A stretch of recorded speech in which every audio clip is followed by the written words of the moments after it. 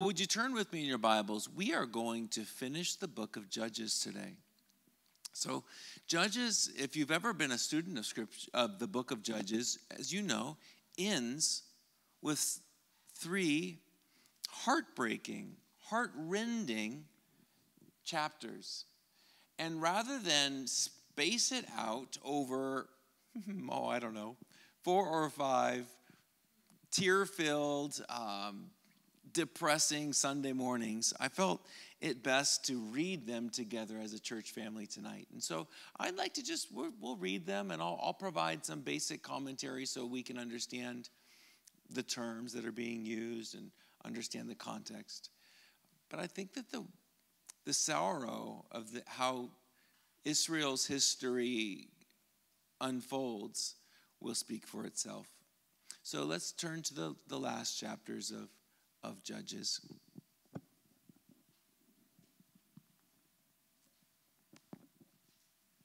So I'm going to read from the New King James as usual.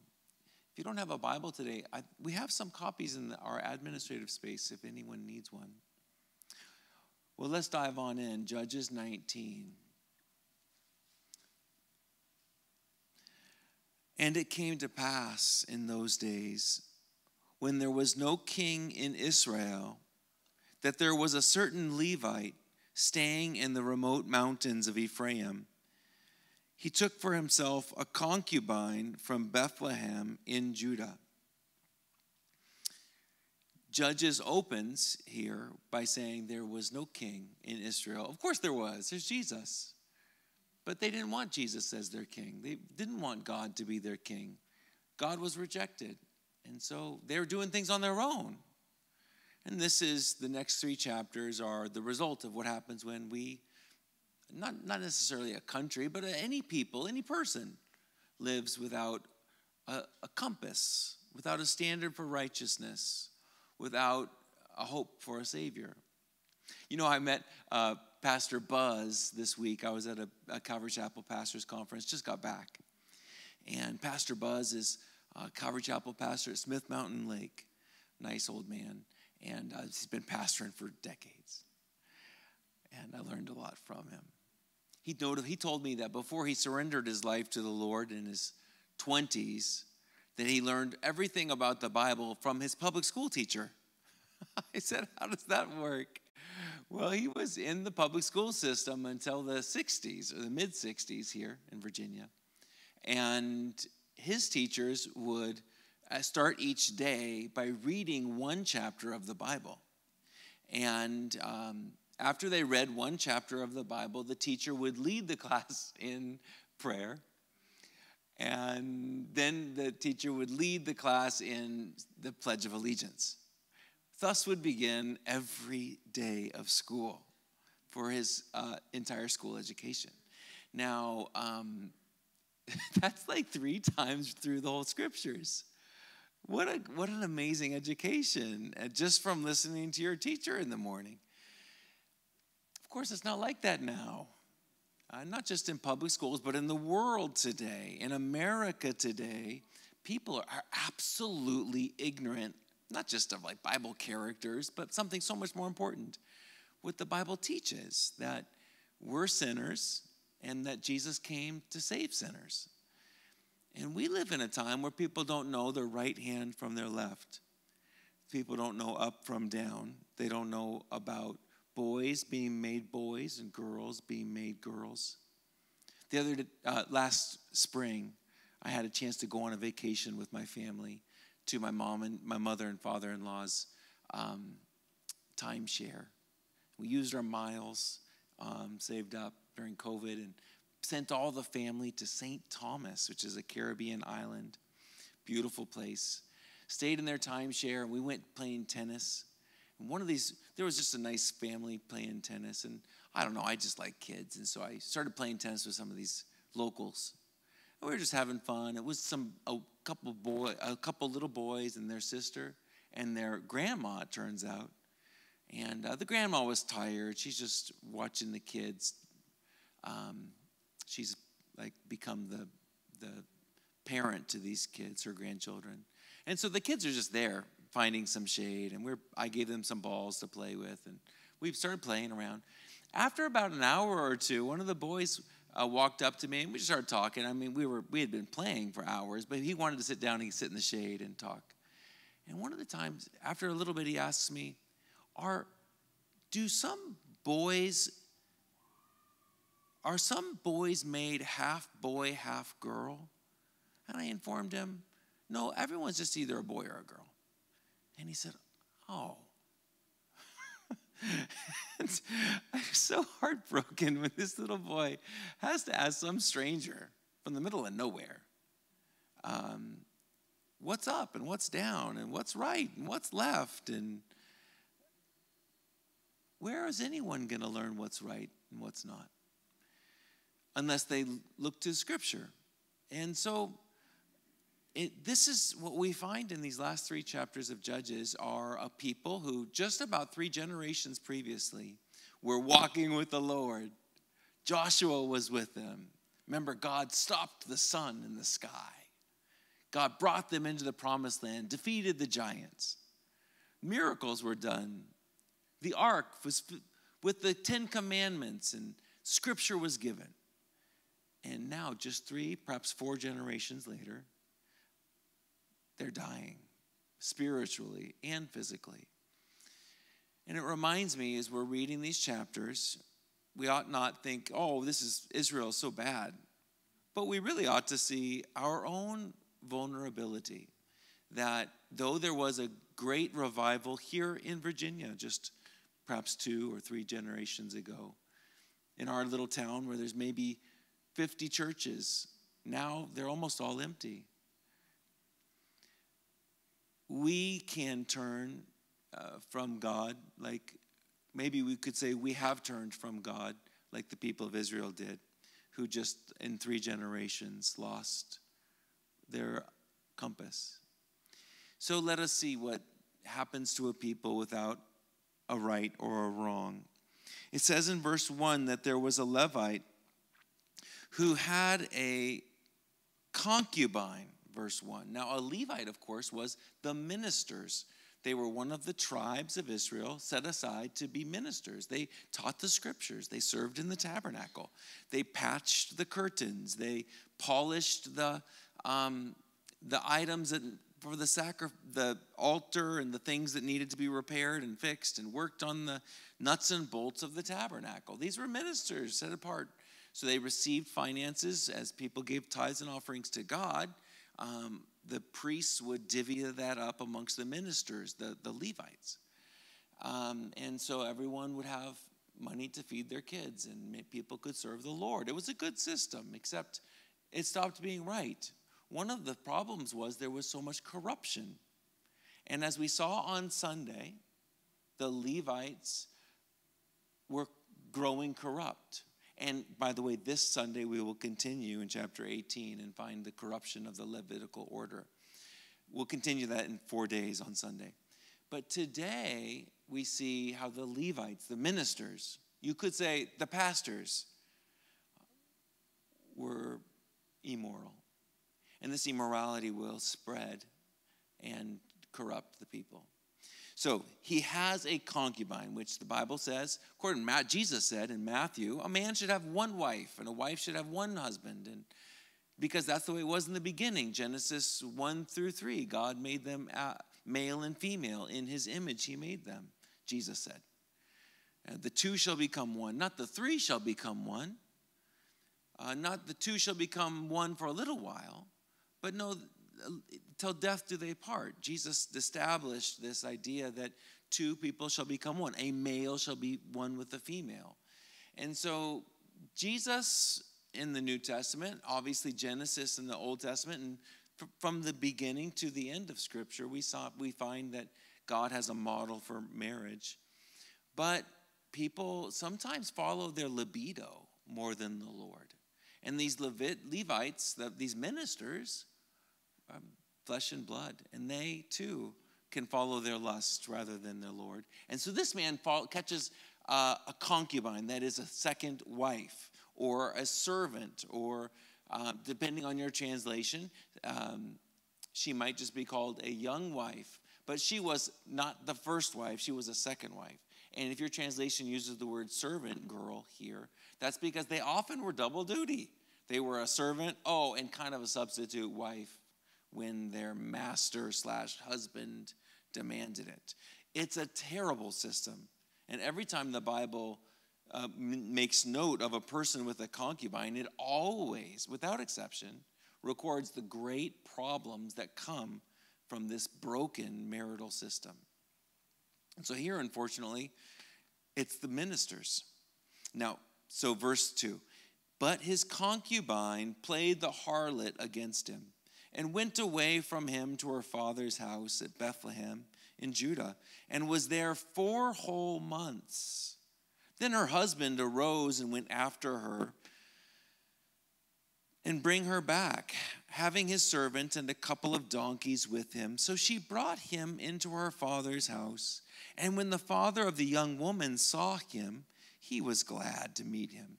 So we get the impression that this young concubine, the second wife, was very young, perhaps a, a child still. And now she escapes her husband and goes back home to her dad and presumably other family members, sisters, and um, perhaps a mother as well. She wants to go back home. And this Levite, a minister, goes and finds her. And so, based on verse 3, it says the father of this little girl um, is glad to meet the girl's husband for the first time. It says to meet him. So, in other words, there was, if there was a wedding, the parents weren't even allowed there. So, this is a very uneven, unbalanced marriage. I'm not sure we would even call it a marriage. This is a relationship that's see, serving the man, and the woman is suffering. She will suffer so much more. But this is often the way it is with immorality. It's often the vulnerable who suffer the most, the, the women and the children. The Bible never um, shies away from this that strength is given to protect the weak. Are you of able mind and body? You are given that able mind and body to establish safety, to, to help others, to serve others. And when those who have strength, like a minister who has spiritual strength, Lord willing, or, or financial strength, as we shall see he has, and, and even societal standing, he has been given strength. He should be using it for protecting and establishing, the, helping, serving the Lord. He's using it to help himself. This little girl and his servants will suffer, as we shall see. Verse 4 So now his father in law, the young woman's father, detained him, and he stayed with him three days. And so they ate and drank and lodged there. And it came to pass on the fourth day that they arose early in the morning, and he stood to depart. But the young woman's father said to his son in law, Refresh your heart with a morsel of bread, afterward go your way. And so they sat down, the two of them ate and drank together. Then the young woman's father said to the man, Well, please be content to stay all night. Let your heart be merry. And when the man stood to depart, his father in law urged him, so he lodged there again. Do you see how the father in law wants the boy, to, the, the, the Levite, the husband, to stay? I think it's because he wants to have a few last moments with his daughter. As we have seen in the, the Old Testament before this, very often the, the, the newlywed will go bring her husband to the parents and this, to meet the parents, and that's the last time the daughter ever sees her mom and dad. So here we see this is kind of like his last goodbye to his little girl.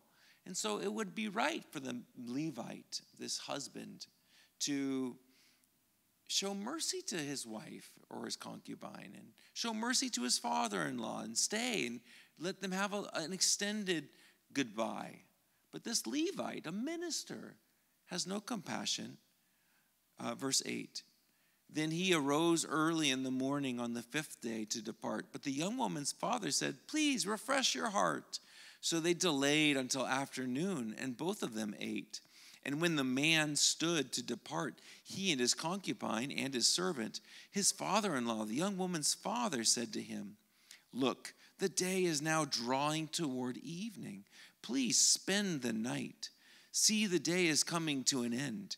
Lodge here, that your heart may be merry. Tomorrow go your way early, so that you may get home. However, the man was not willing to spend that night. So he rose and departed and came opposite Jebus, that is Jerusalem. With him were the two saddled donkeys. His concubine was also with him. So he could have stayed, but he got a late start. He wasn't he wasn't thinking. He had he was led by his feelings. He just didn't want to be tricked into staying another night. He didn't want to do that for his father-in-law or his young wife. And he just following his gut, following his emotions. He has no self-control. He leaves this house and it's in the afternoon, it says. How will he find a safe place to stay before the sun should set? Verse 11 They were near Jebus, and the day was far spent, and the servant said to his master, Come, please let us turn aside into the city of the Jebusites and lodge in it. But his master said to him, We will not turn aside here into a city of foreigners who are not of the children of Israel, we will go on to Gibeah. So he stops, and his servants, who are very wise and reasonable, say, We should go stay here in Jerusalem. Well, it was called Jebus at that time. Let's stay in Jerusalem. We can have a place to eat and be safe and a place to. But the minister, the man of the cloth, you could say, the religious professional, said, I won't stay with those foreigners. He was prejudiced. And because of his prejudice against foreigners, uh, or perhaps the way that they spoke, or perhaps the way that they, um, their way that they worshiped, I don't know the details. He had something against that group of people. He wouldn't stay there. He followed his gut and left home in the middle of the day. Now he's following his prejudices, and it's going to cost him everything and it's going to cost his wife the world. Now, verse um, 13. So he said to his servant, Come, let us draw near to one of these places and spend the night in Gibeah or in Ramah, which are cities of, of the Israelites. Verse 14, and they passed by and went their way, and the sun went down on them near Gibeah, which belongs to Benjamin. They turned aside there to go in to lodge in Gibeah. And when he went in, he sat down in the open square of the city. No one would take them into his house to spend the night. So they go into a city of the Israelites, and no one would open their house and show hospitality to them. Of course, at that time, in that part of the world, showing hospitality was considered a basic kindness. In other words, the least anyone could do is let someone sleep in their front the front porch of their house, the front open area of their home. People lived in a one room house back then. There was no such thing as furniture, really. So, but you could at least let someone sleep on the, the mat where all the other kids and the parents sleep. Or you could put them even on the ground under your roof in the entranceway to your house. But you would at least need to feed them and give them shelter. That was a basic kindness. But in this town of the Israelites, in, uh, they showed no such kindness. Now, verse 16 just then, an old man came in from his work in the field at evening, who also was from the mountains of Ephraim. He was staying in Gibeah, whereas the men of the place were Benjamites. And when he raised his eyes, he saw the traveler in the open square of the city. And the old man said, Where are you going? Where do you come from? And so he said to him, Well, we are passing from Bethlehem in Judah toward the remote mountains of Ephraim.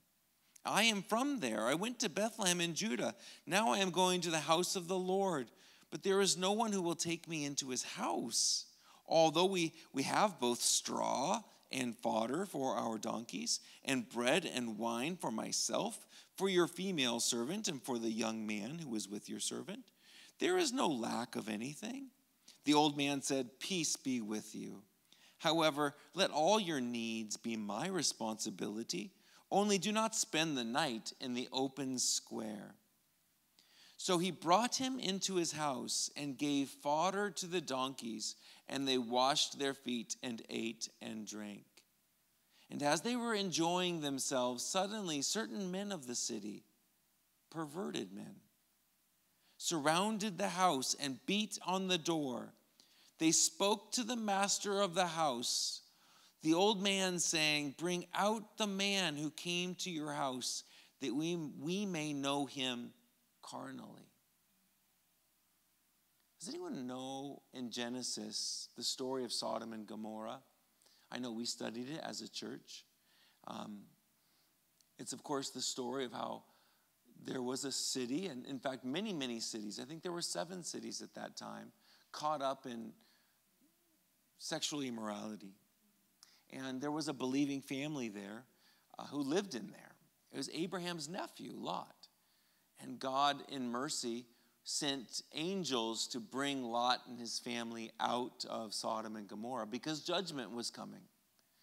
And before God would bring judgment upon the city of sexual immorality, um, God brought this, wanted to bring the believers out. And there was only one family of believers in the whole city or the whole group of cities. And the angels go in and they, they're in the appearance of men uh, and they go into Lot's presence and they say, You need to leave with us right now. You need to, uh, judgment is coming. Get your family, get your daughters, get your wife. Let's go. Uh, you believe in the Lord, God wants to save you. And as the angels are in the, in the appearance of men, for we see in Hebrews in the New Testament, and of course Genesis in the Old Testament, that angels very often appear undistinguishably from as a man. Never as women, interestingly, but they're all often as, as men. Um, and so the men, in the form of men, these angels knock on the door, they engage with Lot, and they're trying to save that family. And as they are doing this, men of the city of Sodom and Gomorrah demand the angels, or these men, be given to them that they, and the same words used here, are used by the men of Sodom and Gomorrah, that we might know them carnally. In other words, that they might rape these men. And so the men of Sodom and Gomorrah wanted to rape these, what they thought were men, coming into their town. And now we, and, and we know how it worked with Sodom and Gomorrah. The angels defeated these wicked men and brought Lot and his family out. And God's judgment fell upon Sodom and Gomorrah, and they were all destroyed. Not just the cities of Sodom and Gomorrah, but also the other cities in the valley. But those who believed were spared. And we look at the fire that fell from heaven upon Sodom and Gomorrah and we say, Lord, this is what sin does. And yet, here we see that even God's people who have the covenant of God, uh, they've received the promises of the Lord, the word of the Lord. Benjamin, they were the tribe that would first receive uh, the king, great King Saul, out of, from Israel. Benjamin, Saul himself, Saul the apostle would come from this line. What, is there a more hero uh, laden tribe than Benjamin, the best of us? Have the worst of us in sin. And they too become like the Sodom and Gomorrah, the people of Sodom and Gomorrah. And it's a reflection on what sin does. Just because there was a, I just say it again, just because there was a generation with gray hair that we remember when we were young, that built churches and preached the gospel, does not mean we live by that same gospel. Our, each generation must be saved. God has no grandchildren. Each child, each person must come before the Lord and either be judged for their sins or let Jesus' sacrifice on the cross be the washing of their sins they need. And so the Benjamites, these people of Israel, seek to rape the Levite who's visiting their town. Verse 23. But the man, the master of the house, went out to them and said to them, No, my brethren, I beg you, do not act so wickedly. Seeing this man has come into my house, do not commit this outrage. he starts off really good. He's got to finish good too. He doesn't. Verse 24 Look, here is my virgin daughter and the man's concubine. Let me bring them out now, humble them, and do with them as you please. But to this man do not do such a vile thing. Why did he show such favor towards this Levite? I have no idea. We can't say for sure, but it was wrong. It was deadly wrong.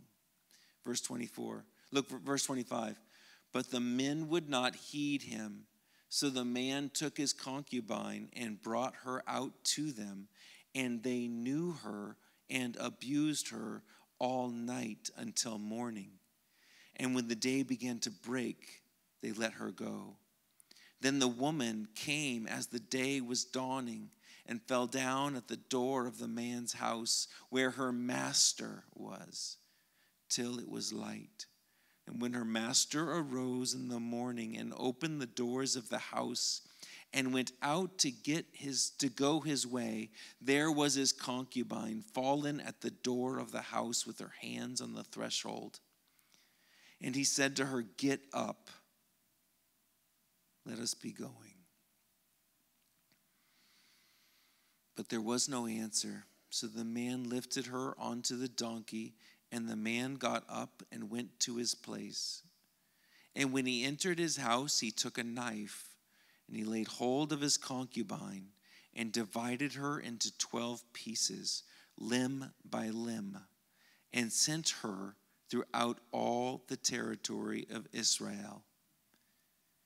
So it was that all who saw it said, No such deed has been done or seen from the day that the children of Israel came up from the land of Egypt until this day. Consider it, confer, and speak up. so terrible. I'm so glad I don't have to go through this on a Sunday morning with little five year old girls sitting over there because their moms and dads won't check them into the kids' department. Some parts of the Bible are for adults only because some parts of the Bible are speak of this darkness of our hearts that no child can comprehend. The innocence of a child cannot understand what sin compounds to sin. And this man brought a sin into his heart when he married a second a, a little girl, calling her his second wife. And her body is mutilated for it. But this atrocious sin, deadly, is like all sins, and it's contagious. Sin we know to be sin because it refuses to stay put. If you ever ask yourself, hey, is it a sin to fill in the blank? Or if someone ever asks you, hey, dad, is it a sin to fill in the blank? One of the ways you can answer is you ask, well, will it stay put? Because sin, when it's in your heart, wants to cause you to do more sin. Yeah, okay, you lied that one time you're going to naturally want to lie again. Oh, oh, you cheated that one time. It's going to want to make it so you cheat again. Sin won't stay put. That's how one way we know it's sin. And this man who just chopped up his little girl, this his second wife, this little young lady, is now going to watch the nation chopped up as well. Sin spreads every time. So in verse chapter 20, so all the children of Israel came out from Dan to Beersheba, that is, from the very far north to the very far south, as well as from the land of Gilead, and the congregation gathered together as one man before the Lord at Mizpah. And the leaders of all the people and all the tribes of Israel presented themselves in the assembly of the people of God 400,000 foot soldiers who drew the sword. Now the children of Benjamin heard that the children of Israel had gone up to Mizpah. Then the children of Israel said, Tell us, how did this wicked deed happen? So we find now for the first time in all of Judges, you Bible students might notice, this is the first time and the only time when all of the nations were, all of the tribes of Israel were gathered. Was it to worship the Lord? No, no. Was it to build a monument to the goodness of God? No, no, forget about that nonsense. Of course not. What will draw them together but when they seek to judge and kill somebody of their own. And so here they're going to slaughter the Benjamites. There's 400,000 foot soldiers, and they're going to battle against that one tribe, who is the tribe that contains that one city, which is that one city that contains, I don't know how many men assaulted this poor little girl. Five? Ten? I, we're, we don't know. But 400,000 men of Israel are ready to fight. Why? Because something about sin tears us into violence and division. Verse 6. Actually, I'd like to skip the next couple of verses for time's sake. So the Levite recounts what happened where his wife is raped and murdered, and he sends her body parts to all of the tribes. So, verse 8 So all the people arose as one man, saying, None of us will go to his tent, nor will any turn back to his house. But now this is the thing which we will do to Gibeah. We will go up it against it by lot. We will take ten men out of every hundred throughout all the tribes of Israel, a hundred out of every thousand, and a thousand out of every ten thousand, to make provisions for the people that when they came, they come to Gibeah and Benjamin, they may repay all the vileness that they have done in Israel. So all the men of Israel were gathered against the city, united together as one man. Then, verse 12, the tribes of Israel uh, sent men through all the tribe of Benjamin, saying, What is this wickedness that has occurred among you? Now, therefore, deliver up the men, the perverted men who are in Gibeah that we may put them to death and remove the evil from Israel. But the children of Benjamin would not listen to the voice of their brethren, the children of Israel. Can we stop there?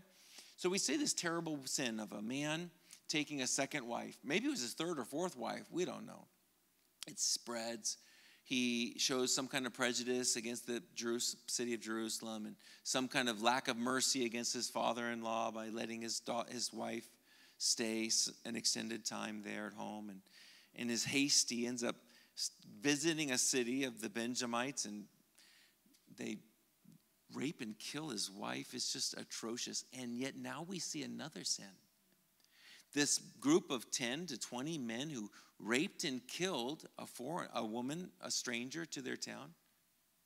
Now, when an army of 400,000 Israelites comes knocking on their door, they demand that the men who committed this atrocity be turned over for justice. Benjamin said, No, we're not giving them up. The tribe of Benjamin stood with the rapists.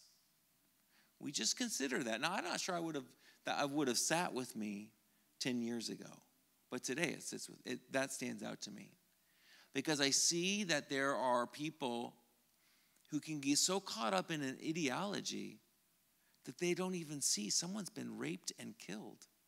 We see some of that happening in Israel. Remember on October 7th?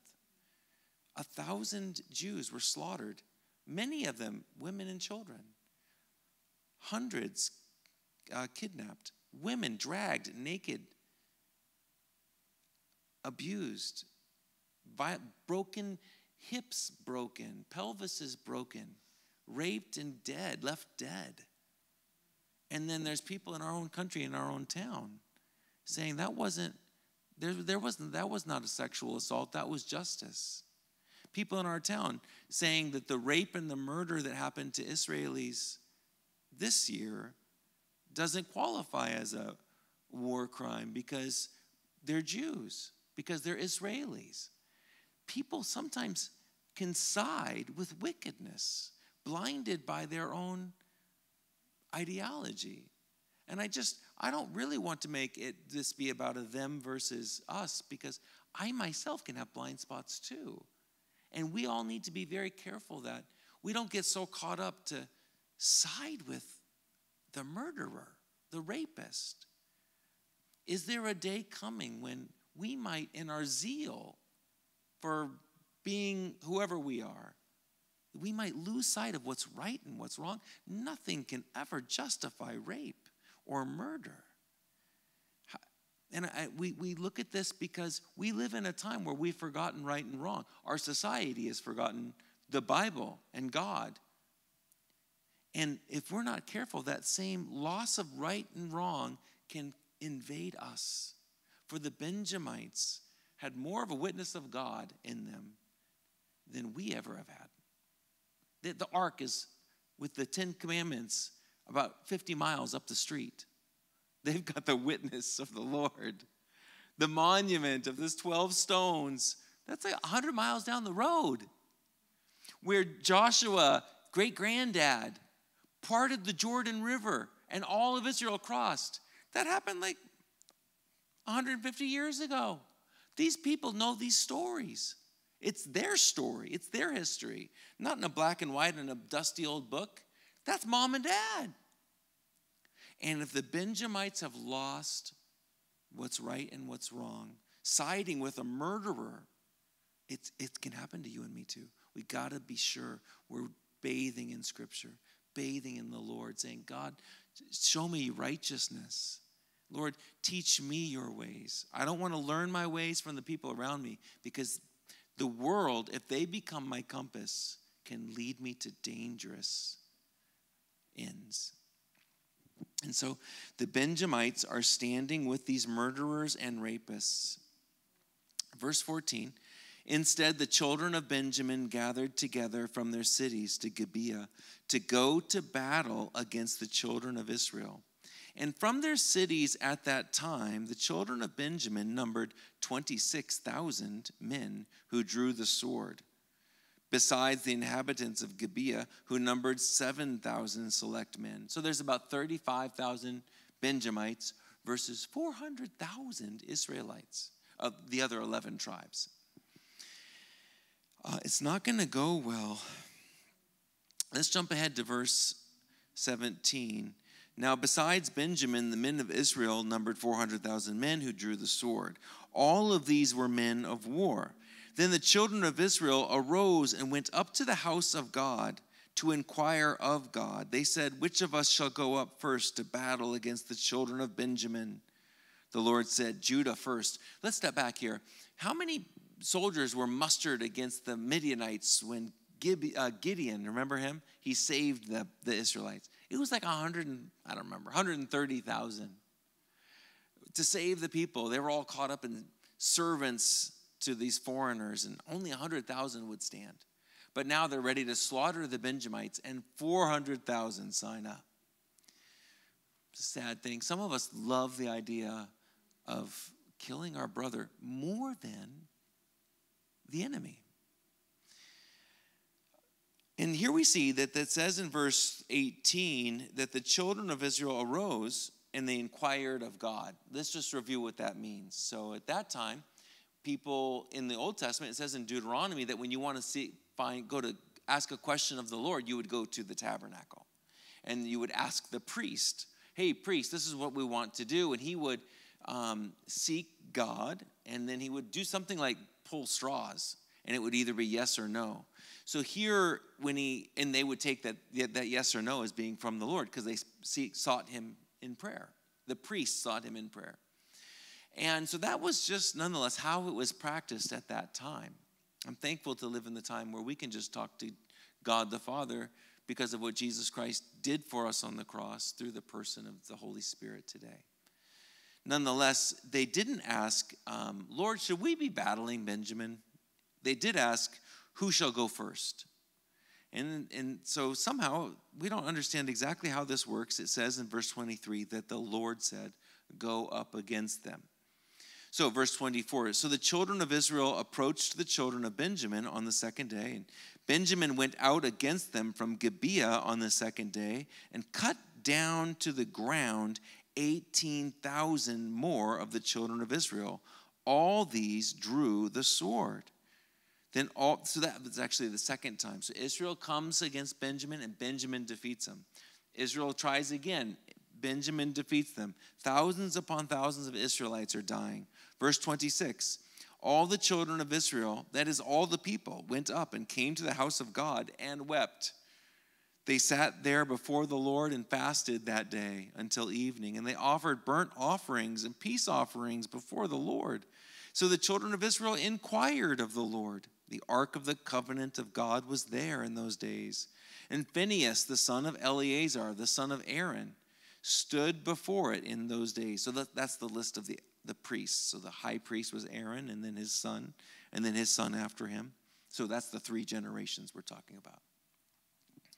And so Phinehas was serving in the tabernacle, and they present their question to the priest Phinehas Shall I yet again go out to battle against the children of my brother Benjamin, or shall I cease? And the Lord said, Go up, for tomorrow I will deliver them into your hand.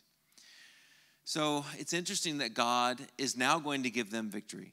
And I am going to spare you the details of this because I'd like to move on to the next chapter. But uh, Israelites destroy the Benjamites almost, I, I think the numbers uh, 600 are spared um, by accident. 600 escape. And can you think about that? 24,000 uh, Benjamites are, are killed by their countrymen. And I don't remember the number exactly, but something like 80,000 Israelites are killed in this battle. Um, it's interesting that the Lord didn't give victory to the Israelites until the third battle, after 80,000 or so had died. Because I find that interesting because I think that the, if the Lord was on the side of Israel, they're doing what's right. They're trying to bring justice for this little girl who was raped and killed. I think that God would have given Israel victory immediately. But the fact of the matter is that the sin that was in that city of Gibeah was probably in other cities in Benjamin, which is probably why the Benjamites wouldn't give up those the, the criminals who raped and killed, because they too were rapists or, or murderers. And I suspect that the Lord allowed so many of the other tribes of Israel to die in battle because they too were terrible sinners as well. And in God's justice, he uses these bloody battles as way of working his judgment, just as fire fell on Sodom and Gomorrah, and about the same number fell. Here, the same number fall, the same number of people die in God's judgment, but not from fire, but from war. And so now um, in verse chapter 21, we see how they've made this terrible bloodshed. And now they're going to, how do you right a wrong? How do you fix what you've done when you realize you shouldn't do this? There's only 600 or so Benjamites left. Of all of the tribe of Israel, of Benjamin, there's only uh, 600 men, verse 47, yeah. So, what do you do? How do you right this wrong?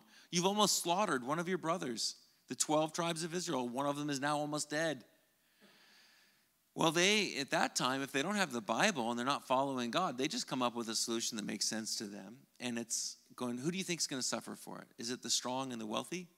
And the educated and the rulers? Is it the king? No, it's the little girls. Every time, it's the, it's the, the vulnerable who suffer. So, verse 20, chapter 21. Now the men of Israel had sworn an oath at Mizpah saying, None of us shall give his daughter to Benjamin as a wife. So then the people came to the house of God and remained there before God till evening. And they lifted up their voices and wept bitterly and said, O Lord God of Israel, why has this come to pass in Israel that today there shall be one tribe missing in Israel? Why, Lord, why? Because they did it themselves, they killed them. And here they have the audacity to be going to God like you know, have you ever heard of like those people who go to church on Christmas and Easter and when they're sick? Here they are going to the tabernacle when they're sick. They're like, we just slaughtered one of the tribe tribes, Lord, one of the 12 tribes, Lord. Why has this happened? They did it themselves. Anyway, now verse 4 So it was on the next morning that the people rose early and built an altar there and offered burnt offerings and peace offerings the children of Israel said, Who is there among all the tribes of Israel who did not come up with the assembly of the Lord? For they had made a great oath concerning anyone who had not come up to the Lord at Mizpah, saying, He shall surely be put to death. So they had making, taken a stupid oath. following their own hearts, not the Lord. The Lord says, be careful about taking oaths. Jesus said, let your yes be yes and your no be no. Don't make an oath. Just whatever you say, do it. Because sometimes when we make oaths, it's boasting. And these guys had taken an oath, verse 2 declares, that none of us are going to give our children as wives to the, these 600 Benjamites who were left, who escaped our sword. So now the Benjamites are all going to disappear as a generation because of a stupid oath, a stupid, boastful word. And so then they, after they're worshiping the Lord or kind of in the presence of God somehow, they cry out to Him and they say, We've got an idea. Was there any amongst any of the tri- cities of Israel that didn't show up in our war? Because we had also made another oath. God doesn't say to do that. They just did it of their own choice. That if anyone doesn't show up to this battle, they can die. And so they do check their books, and it turns out there was one tribe who didn't show up to kill the Benjamites. It was probably to their credit that they didn't show up because the, they knew that the Benjamites were no better than anyone else or no worse. So they're going to find this one tribe. So, verse 10 So the congregation sent out their 12,000 of their most valiant men and commanded them, saying, Go and strike the inhabitants of Jabesh Gilead with the edge of the sword, including the women and children. So they're going to kill the women and children. Did the children make any decision about not going to war? No. This is just violence upon violence, lawlessness upon lawlessness. They found out that this city didn't come to war, so they're going to slaughter everybody. Verse 11 And this is the thing you shall do you shall utterly destroy every male, every woman, and every woman who has known a man intimately. So they found among the inhabitants of Jabesh Gilead 400 young virgins who had not known a man intimately, and they brought them to the camp at Shiloh, which is in the land of Canaan. So they spare 400 little girls who had not yet been married. At that time, as in much of the world today, when a girl is in her home and she's not yet married, she wears whatever she wants. Uh, but once she's married, her, her garments change. Often she wears a different head, car- head covering. Often she wears a longer skirt, or uh, she starts wearing jewelry for the first time. There's different things depending on the culture and the period of time that demark a, a woman who's married from a woman who's not married. And so they're looking for a woman, these girls, they're slaughtering everybody. But if the person's a girl's not wearing the garments of a woman who's married, they're kidnapping her and they're going to force her into marriage with the Benjamites. You say, who comes up with this? The answer is people who don't follow God. Okay, so verse 13. So the whole congregation sent word to the children of Benjamin who were at the rock of Rimmon and announced peace to them. So Benjamin came back at that time, and they gave them the women whom they had saved alive of the women of Jabesh Gilead, and yet they had not found enough for them. So they could only find 400 little girls to kidnap and make the wives of the remaining Benjamin survivors. And they're like, oh no, well, that's, not, that's not right because there's 200 men who aren't going to have a wife. Um, None of this is called by God. This is just man coming up with ideas. And not one of them is a good idea. Verse 16 So then the elders of the congregation said, Well, what shall we do for wives for those who remain, since the women of Benjamin have been destroyed? And they said, There must be an inheritance for the survivors of Benjamin, that a tribe may not be destroyed from Israel. However, we cannot give them wives for our daughters for the children of Israel have sworn an oath, saying, Cursed be the one who gives a wife to Benjamin. So then they said, In fact, there is a yearly feast of the Lord in Shiloh, which is north of Bethel, on the east side of the high, highway that goes up from Bethel to Shechem and south of Lebonah. Therefore, they instructed the children of Benjamin, saying, Go, lie in wait in the vineyards, and watch and just when the daughters of Shiloh came out to perform their dances, then come out from the vineyards, and every man catch a wife. That could be translated kidnap a wife. For himself from the daughters of Shiloh, then go to the land of Benjamin. did you notice that they stole these little girls who were dancing in, the, in and around the tabernacle? This is where people gather to worship the Lord. Uh, at the tabernacle, the Bible calls for there to be worship every day. Of course, on the Sabbath, there was even greater worship. Uh, people would gather for Bible studies and the sacrifices, but every day people would be gathering for worship and for prayer. It was open during as long as the sun was up. And here girls are gathering for this feast to dance before the Lord. And I think it's fascinating that of all the little girls in Israel that were stolen into captivity to be made wives, forced into being a wife of sinful Benjamites, they chose girls at worship. And I think that that's the way of this world that we live in. Because a man um, who was a minister was corrupt in this little way. He let his lusts and his libido be his God. Chose wife after wife after wife, and he probably thought he could handle it.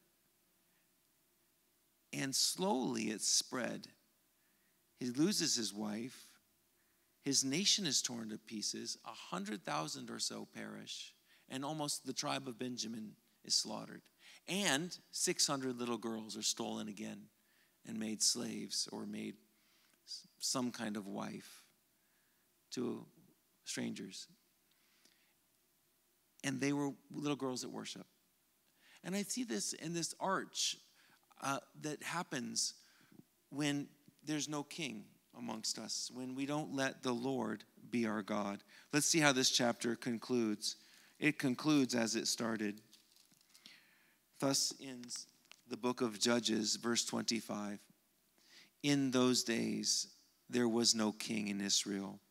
Everyone did what was right in his own eyes.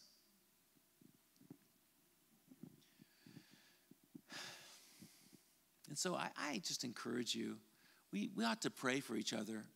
What I mean by that is for Christians. We always are taught we should pray for the non Christian. Yeah, do that too. But we need our prayers. We need each other to lift each other up for mutual accountability, support, strengthening. If you see a minister collecting wives, spare the little girls in the future and walk alongside him and give him chastisement and correction. Pray for him and give him the support he needs. If you see little girls who are worshiping and someone's ready to steal them away, protect them as your own child. It's all connected. You know, I think that if we hold our worship of the Lord loosely, like we hold each other to no account, people can do whatever they want. You do whatever you want to your girlfriend. Treat your children however you want over there. Worship whatever you want. Read read or don't read or misinterpret your Bible however you want. We give people such a long rope and it strangles them. They strangle themselves. But always the children, the vulnerable ones, suffer. And it might take a generation. But the weak amongst us, the vulnerable, are stolen away. And so I we we close the book of Judges, and I, I just ask us to be prayerful that if there's a sense of Christians will be Christians, um, pastors will be pastors. Look, he can, he can draw a crowd. Wow, that's a, that guy shows up for kids' ministry. He's pretty faithful. Um, well, that guy goes to church once a year. He says he's a Christian. It's time that we draw people closer to the Lord. We, that we raise the, count, the bar of accountability on what's right. And we need to start with the house of the Lord. So, some of us, you know, I think that we have a tendency to look at the world, and we're so broken for what's happening in the news and in our community. There's a place for that. But all the more, let us pray for and serve and love and help one another. Because as Christians thrive in Christ, we leave a, a legacy of safety for the hurting and for the vulnerable. But if we neglect one another and we let each other slip one step further in backsliding, it's, not you who will suffer, those who are strong amongst us and have money in the bank accounts. It's the kids, it's the women, the children. So, Father, we, we pray for this generation that follows us. Um, those who can run all day long and not be weary, and they laugh and laugh and laugh so loud, and they play, play, play. Lord, we don't want anyone to steal their joy, not now or not when they're older. And Father, we pray for our, our nation. We pray for our, the Shenandoah Valley. Lord, would you help us to draw Christians into a closer walk with Jesus, a purer, more holy walk with Jesus? That husbands might love their wives more than ever before, and that wives might be devoted to their husbands like never before. That children might learn to respect and fear their father and to walk in joy with their parents. That, um, that they might live a long life enjoying Jesus every day. And Lord, we just we lift our, our children and the generation that follows us up to you. We ask you protect them by purifying us. In Jesus' name we pray.